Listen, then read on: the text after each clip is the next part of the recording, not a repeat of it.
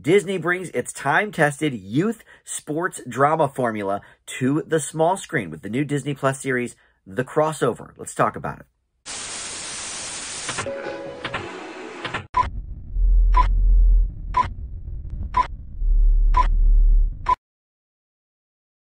Hey guys, Dan here. This is Dan Reviews It. Welcome to my TV review for the recent Disney Plus show, The Crossover. This is uh, streaming all episodes for season one right now, and it is based on a very popular book from Kwame Alexander. I was unfamiliar with this book, um, but looked into it a little bit when the show came out, and uh, this is a Newbery Award-winning book, very popular, uh, and it is told all in verse.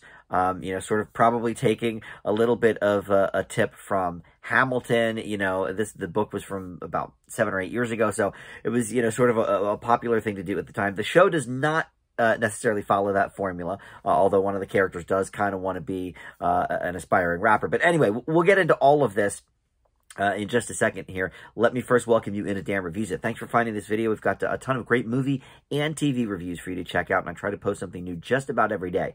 So uh, please consider subscribing. Even hit that notification bell below as well so you can get uh, the alerts for when I drop new videos. But uh, if not, just like this video, comment below. All that stuff does help the channel out as well.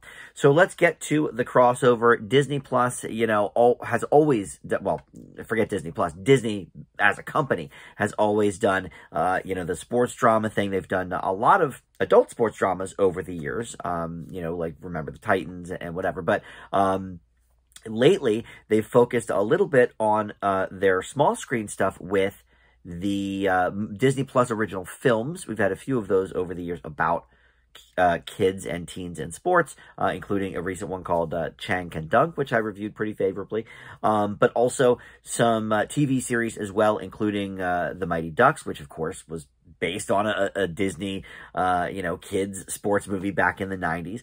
Um, and then they also had Big Shots with John Stamos playing the coach of this uh, girls basketball team. So now we've got the crossover, and the, the basic premise here is this is about these two brothers uh, Josh and Jordan Bell. They are considered, uh, you know, basketball prodigies, and uh, they are about to sort of enter the uh, the more adult years of their lives. They're sort of, uh, you know, getting a, a, bit older and trying to navigate uh, a lot of difficult things.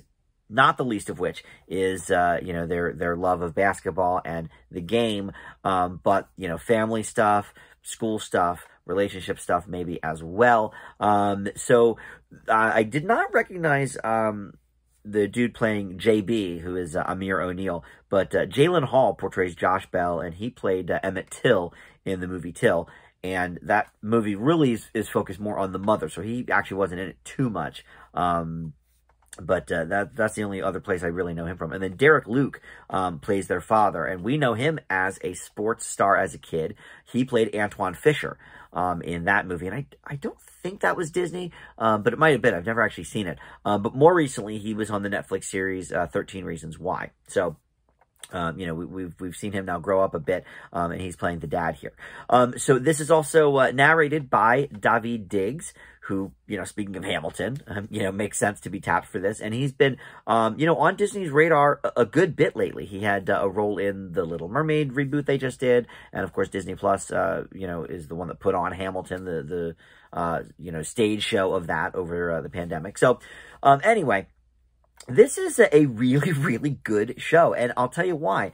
Um, so, you know, maybe we're not breaking new ground with um, the, the, subject matter here, uh, and even, you know, sort of the, the voiceover narration is a little bit Wonder Years-ish, maybe. But um, what is sort of novel about this show in today's, uh, you know, TV era is that uh, they they really do not make a lot of you know family friendly drama shows anymore. You know, like the Mighty Ducks and Big Shots certainly are family friendly, um, but they're more, you know, comedic leaning. There's, you know, a little bit of comedy here, but this is really, um, for all intents and purposes, a family drama.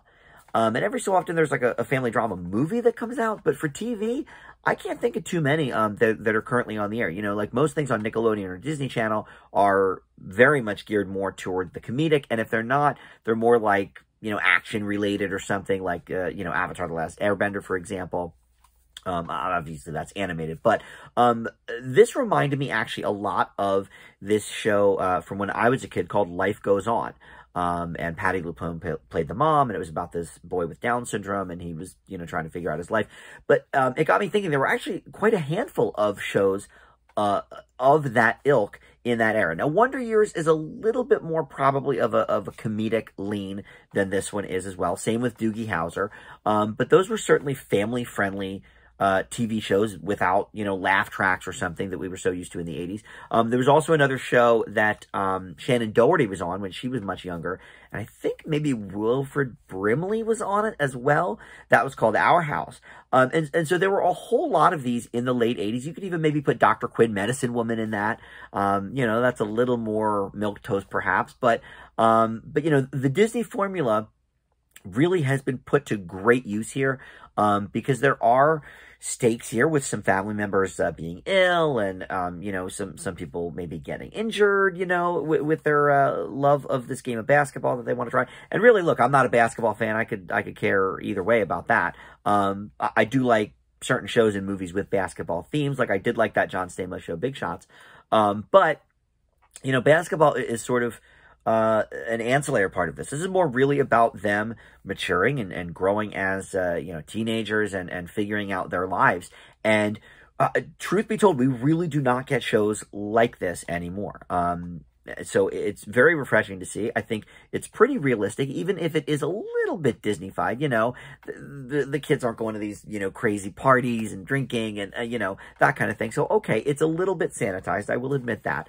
Um, but I think the, the script is really good here. And really, okay, because maybe it's not as realistic as it could be for, you know, teenage life or whatever, maybe the appropriate age era for this is, uh, you know, age area is maybe like, you know, 8 through 13, like kind of, you know, the, the, the tween years.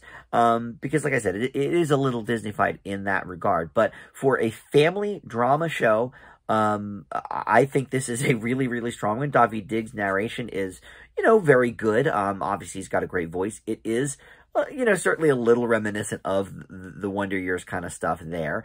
Um, but I actually wasn't sure if this was uh, based on a true story or not. It is not. The, the book is nonfiction.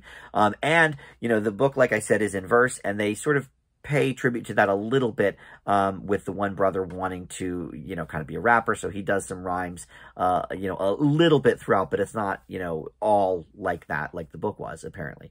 Uh, but no, this is a really good show. You can stream uh, the whole thing now on Disney+. Plus. I leave the crossover with a an A minus. And uh, no word yet on season two, so we'll let you know about that. Uh, all right, thanks for watching. Dan Reviews It. We'll see you next time. Bye.